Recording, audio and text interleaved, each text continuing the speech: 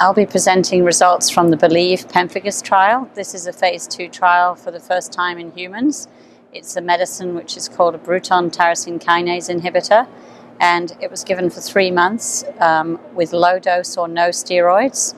And the patients um, had amazing responses in terms of control of disease activity and remission rates on extremely low doses of steroids by four weeks with control of disease activity, by 12 weeks of remission and a relapse in the following three months took several months to weeks to happen. Patients with pemphigus have risk of dying from the current treatments that are available.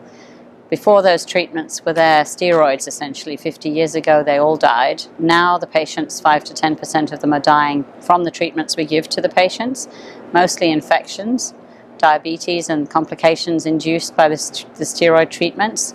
With this tablet, which is um, a BTK inhibitor, uh, the patients were able to get better with extremely low doses of steroids and in some cases with no steroids.